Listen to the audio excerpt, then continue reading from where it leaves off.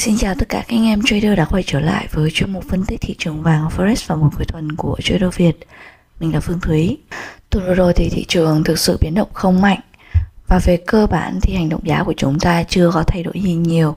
Trong clip phân tích cuối tuần này, Thúy và các bạn sẽ cùng nhau phân tích lại thị trường trong tuần vừa rồi và xem xem là có tín hiệu hành động giá nào quan trọng để chúng ta lên chiến lược giao dịch cho tuần tới hay không nhé. Tuần tới anh em lưu ý là chúng ta có khá là nhiều tin tức quan trọng và nó trải dài từ đầu tuần cho đến cuối tuần luôn. Trong đó có Úc và Thụy Sĩ sẽ họp lãi suất và chính sách tiền tệ. Ngoài ra thì còn có một vài tin tức quan trọng khác liên quan đến việc làm lạm phát và GDP cũng như là PMI thì các bạn lưu ý ha.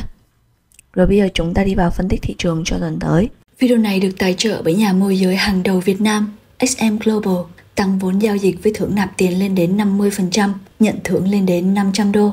Mở tài khoản với SM tại link phía dưới phần miêu tả.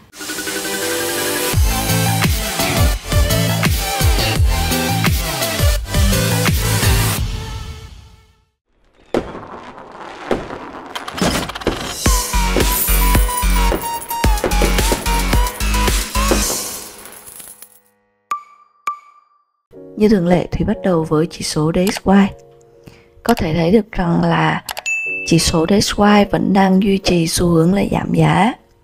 Tuy nhiên thì cái động lượng giảm đã có cái sự yếu đi rồi. Như là tuần vừa rồi các bạn thấy, thị trường gần như là giằng co.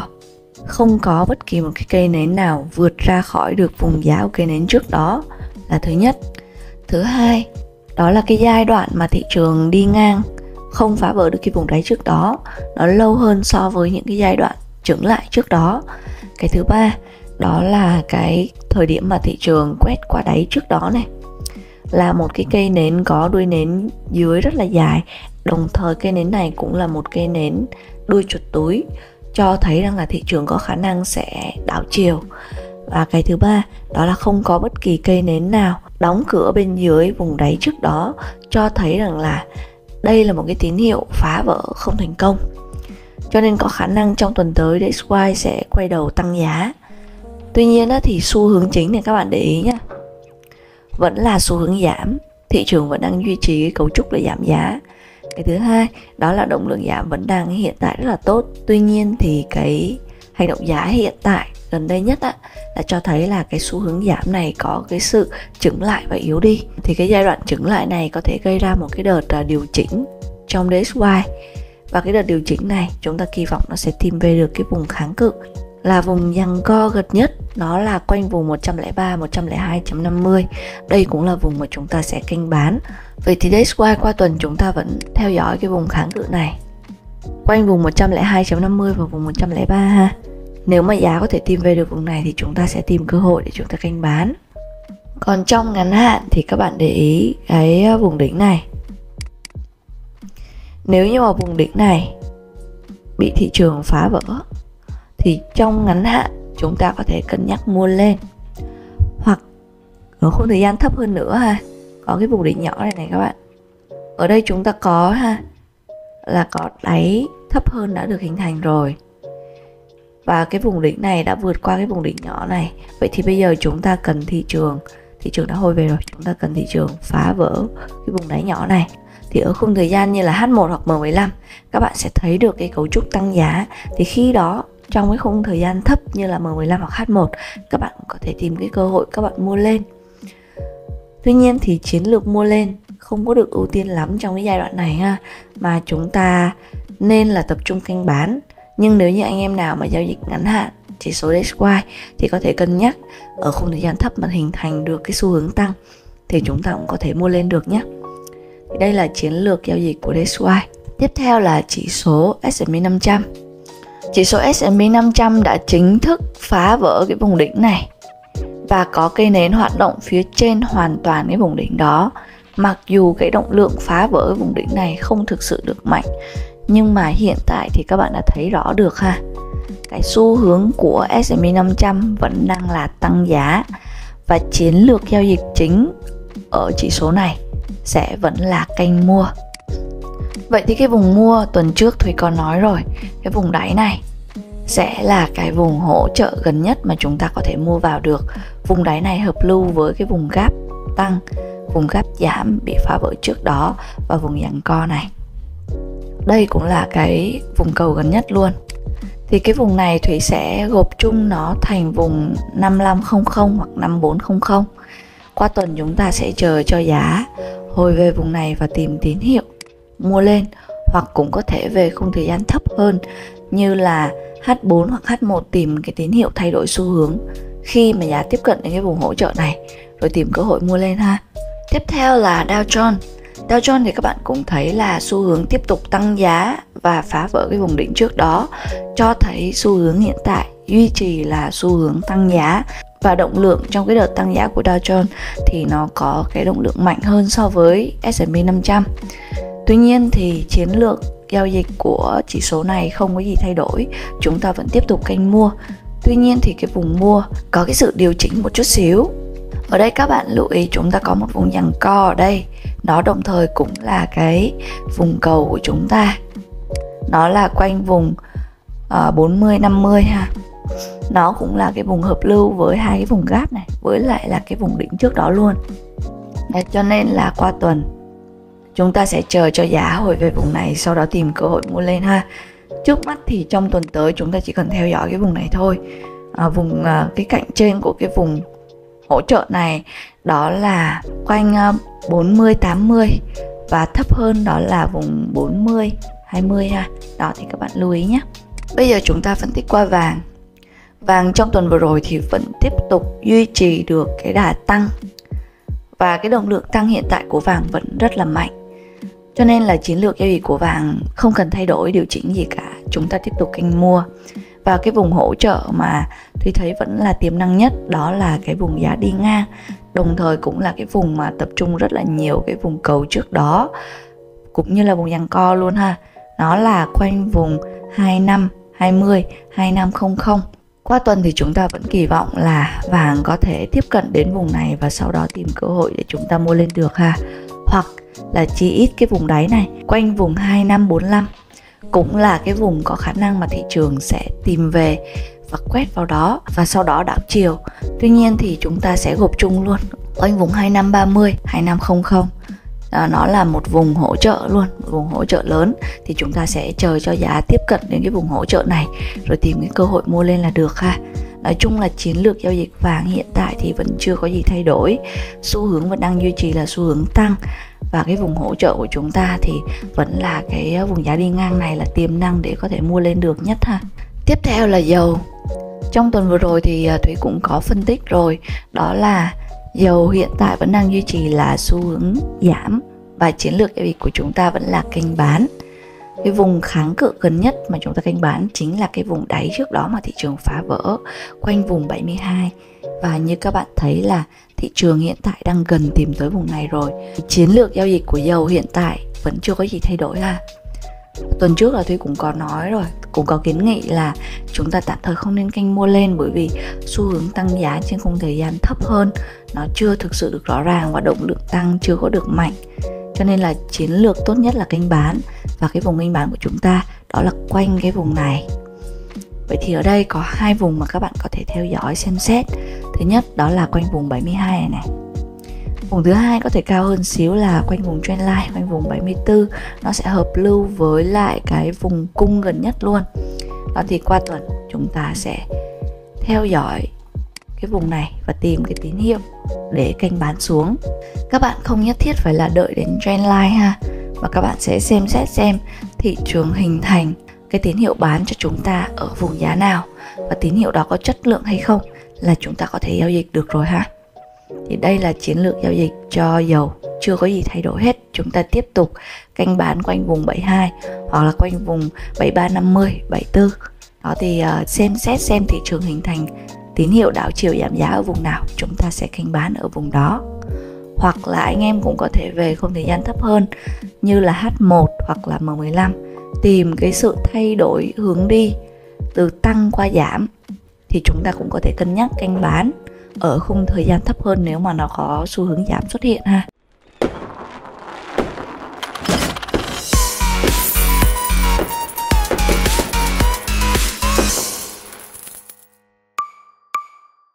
Tiếp theo chúng ta phân tích qua các cặp tiền tệ. Đầu tiên là Euro USD. Sau khi mà Euro USD chạm đến cái vùng hỗ trợ là vùng cầu này, nó đồng thời cũng là cái vùng đỉnh trước và gần với vùng giằng co. Giá tiếp cận đến vùng này thì bật tăng lên. À, và các bạn thấy là có hình thành cho chúng ta một cây nến là engulfing, không phải là nến bóng lớn ha. Nhưng mà trước đó chúng ta có thiết lập giảm dần. Thì thực ra cây nến tăng này chúng ta mua lên được à, nhưng mà có một điều là cái tỷ lệ risk reward của chúng ta nếu mà giao dịch ở cái tín hiệu này thì nó không có lợi cho chúng ta lắm thôi nhưng mà vẫn mua được ha giá thì hiện tại đã tăng và gần tiếp cận đến cái vùng đỉnh trước rồi. Vậy thì chiến lược giao dịch hiện tại của EURUSD đó là chúng ta cần phải chờ cho giá phản ứng với cái vùng đỉnh trước này. Xem như thế nào. Nếu mà giá thực sự có thể phá vỡ được cái vùng đỉnh trước này, tức là tiếp tục duy trì cái cấu trúc tăng giá là đỉnh sau, cao hơn đỉnh trước và đáy sau, cao hơn đáy trước, thì chúng ta tiếp tục mua vào và cái vùng mua lúc này của chúng ta sẽ có một chút thay đổi. Đó là cái vùng hỗ trợ là cái vùng cầu này. Sẽ là vùng hỗ trợ chúng ta tìm cơ hội mua lên. Nó sẽ hợp lưu với cái vùng đáy nhỏ này và cái vùng đáy trước đó. Và cũng là cái vùng giằng co này luôn. Đó thì đây sẽ là cái vùng hỗ trợ mới để chúng ta tìm cơ hội mua vào. Vùng hỗ trợ mới này nó là quanh vùng ờ, uh, 1.1050 cao hơn xíu đó là quanh 1.1070 đó thì à, đối với euro USD thì chúng ta sẽ phải chờ cho giá phá vỡ được cái vùng đỉnh trước thì mới trở hồi và canh mua lên được ha. Các bạn để ý này đây là vùng đỉnh của khung tuần. Khung tuần là hiện tại đang có uh, xu hướng là tăng giá.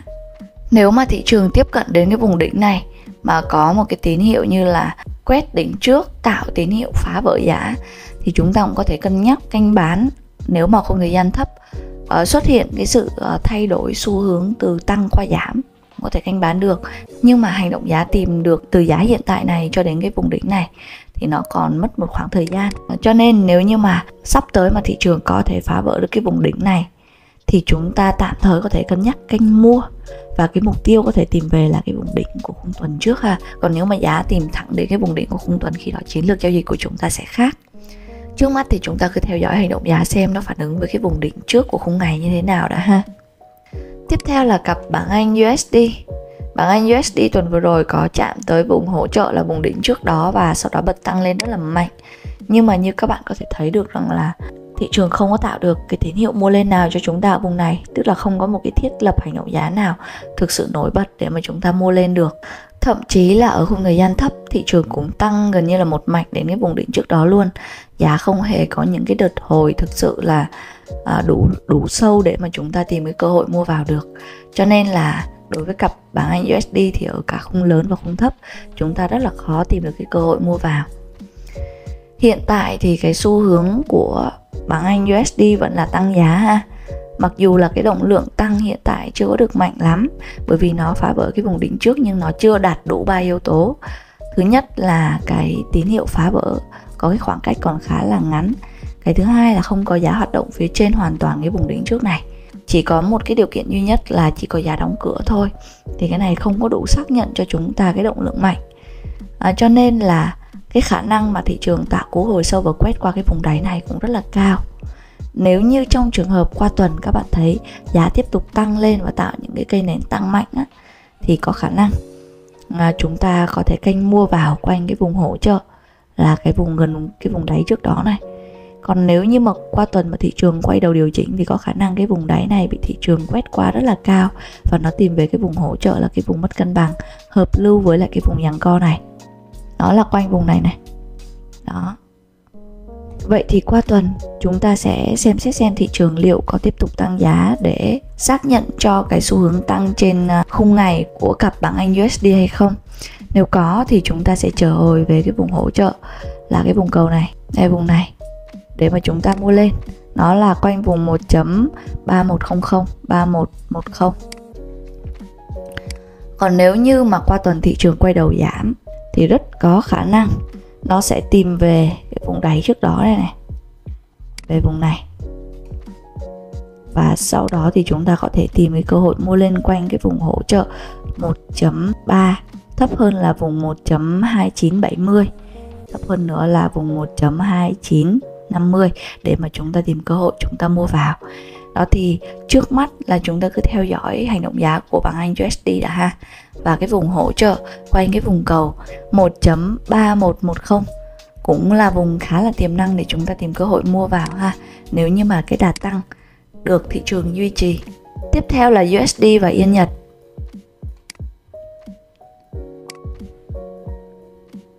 USD và Yên Nhật thì hiện tại đang có cái đợt tăng giá bắt đầu thị trường bắt đầu hồi rồi ha mặc dù là cái động lượng hồi nó không có thực sự được mạnh không có những cái cây nến tăng liên tiếp à, và trong đó thì các cây nến có đuôi nến cũng khá là nhiều.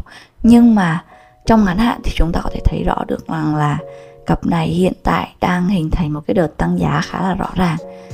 Và tất nhiên trên khung ngày thì chiến lược giao dịch của chúng ta không đổi vẫn tiếp tục theo dõi cái vùng kháng cự, là cái vùng hợp lưu quanh đường trendline tăng bị phá vỡ và đường kháng cự ngang là quanh vùng đáy bị phá vỡ trước đó và vùng giằng co quanh vùng 152 cao hơn xíu là 152.25 còn trên khung thời gian thấp hơn như là H1 chẳng hạn, thì các bạn thấy rằng là xu hướng tăng đã được thiết lập rồi. Các bạn thấy là cái vùng đỉnh trước đó của xu hướng giảm đã bị phá vỡ khá là rõ ràng và cái đỉnh gần nhất cũng đã bị giá phá vỡ.